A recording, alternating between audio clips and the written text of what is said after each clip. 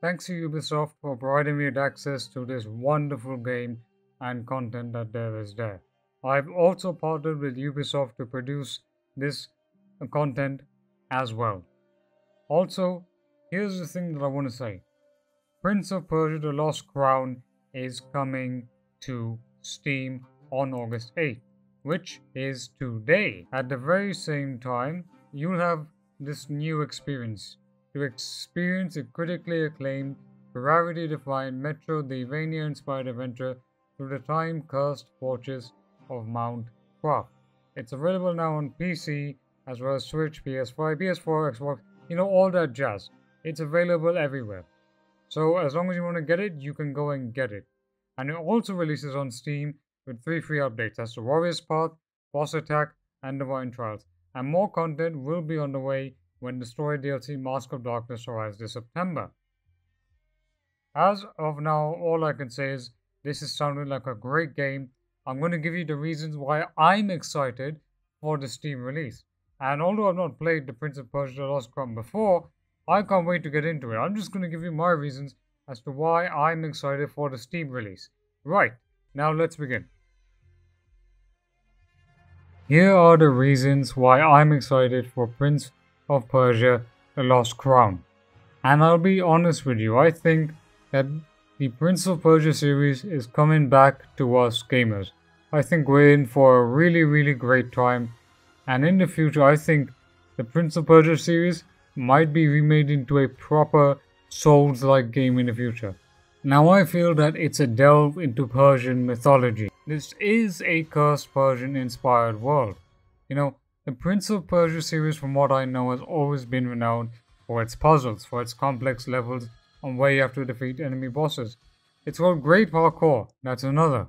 And we'll be playing as Sargon as one of Persia's elite bodyguards, that is the Immortal, and we'll be going through this epic adventure. Now that means deadly traps, then may the gods wish me luck. If that means solving puzzles that I have to face and mastering time altering powers in the new areas of Mount Qaf, then why not? I won't spoil too much of the story, but suffice it to say, Sargon has an epic mission to save a queen's son. It's not a damsel in distress.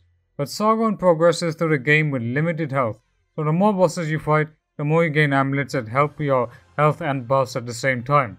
With Sargon's weapons, the chakram and bow, he'll be able to bounce off walls, jump, slide, and parry at the same time.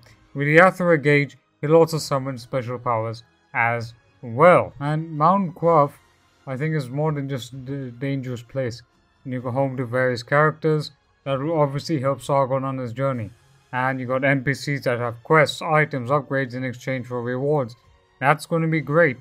And you have maps, special abilities to mark your important locations, and the game's world is designed to be explored gradually, with new areas opening up as Sargon gains new abilities.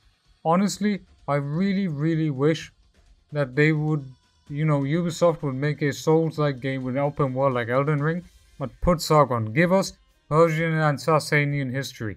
I think that would be so much great. You know, if you go to the lowest city as biomes and you go to the autumn, autumnal forest, you know, the form is based around the urban and religious. You have architecture that is based upon the Achaemenid and Sassanid empires, and also inspired by, you know, the Hyrcanian forest.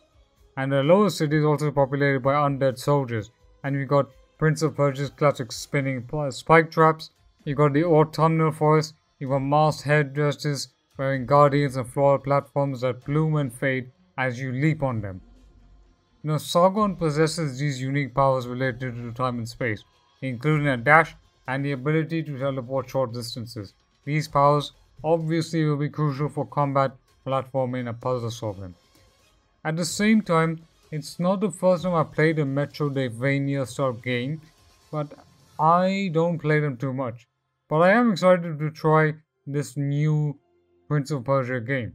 It may be new to Steam, but to many Prince of Persia players who probably have played this for the first time, not sorry, not for the first time, but for many Prince of Persia players that have played this before, you know exactly what this type of game is.